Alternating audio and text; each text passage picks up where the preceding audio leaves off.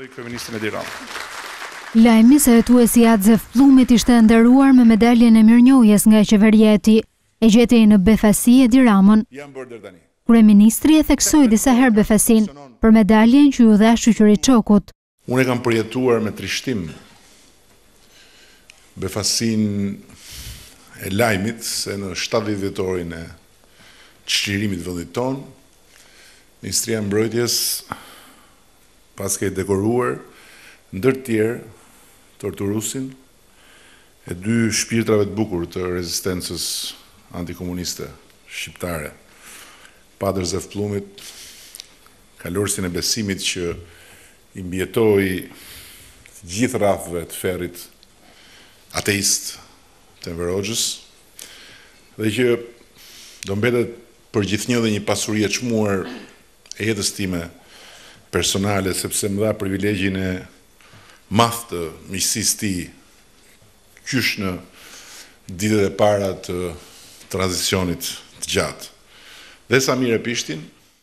Nga Shkodra, Edi Rama i kërkoi ndjesë familjes së At Zef Pllumit dhe asaj të një të përndjekuri tjetër, Sami Repishtit, dhe ai një nga viktimat e Shyqyri Çokut. Kam sot detyrimin t'i kërkoj të falur për tronditjen e kuptueshme që i ka sjellë medalja e marrë prej torturuesit të tij. Dhe në këtë kërkesë faljeje për të nderuarin Sami Repishti, është brenda ndjesa dhe për këdo tjetër që ka kaluar në duart e torturuesit famëkeq, përfshirë të gjithë familjarët dhe të afërmit e tyre, të lënduar me plot të drejtë nga ky lajm, shumë i befasishëm edhe për mua vetë. Por pjesën më të madhe të fjalimit të kryeministrit e mori akuza për Sali Berishën, një vendim i vitit një mijë e nëntëqind e nëntëdhjetë e katër e kishte përfshirë Shyqyri Çokun në kategorinë e parë të veteranëve. Kryeakuzatori dhe kryefalsifikatori i njëzet e pesë viteve të fundit, po me siguri edhe njëri ndër akuzatorët dhe falsifikatorët më të mëdhenj në gjithë historinë e Shqipërisë, ishte President i Republikës.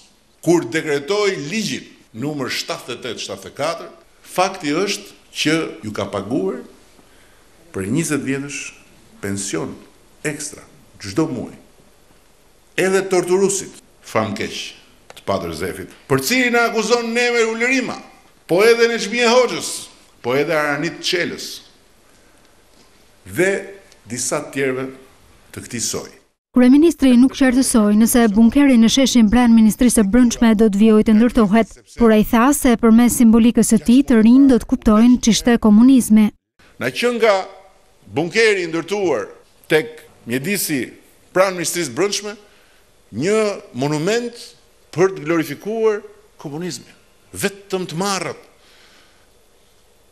mund ta perceptojnë këtë si të tillë dhe vetëm politika e kriminalizimit mund ta konsiderojë si mjet për të verbuar më tutje njerëzit. Ç'lidhje ka kjo? Si mund të lidhen këto? Çfarë glorifikimi? Kryeministri përsëriti deklaratën për njerëzit që kishin ardhur nga Alpet, por tha se nuk kishte pasur asnjë racizëm në fjalimin e tij në Sarandë. Përdori tone raciste, thoshin. Një kriminalizim në vazhdën e gjithë kësaj historie. Çfarë thashë unë në të vërtetë? Unë nuk fola kundër veriorëve. Mua më kanë vënë në gojë më parë edhe një tjetër histori. E keni dëgjuar. Shkonin në zonat informale i thoshin mos votoni Edi Ramën, ai ju thotë çeçen, ai sa gdhiet derisa ngryset thotë do t'ia tregoj unë çeçenëve.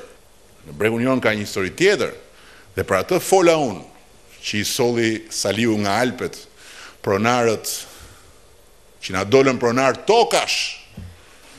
Në Shkodër, Edi Rama e kishte me vete edhe kreun e ministrisë, që po hetohet nga Prokuroria për korrupsion me miliona euro, Ilir Beqajn.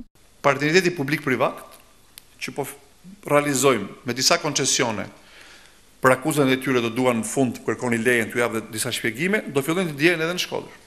Për herë të parë që pas nisjes së hetimeve, foli edhe Ilir Beqaj, pa hyrë në detajet e tenderave.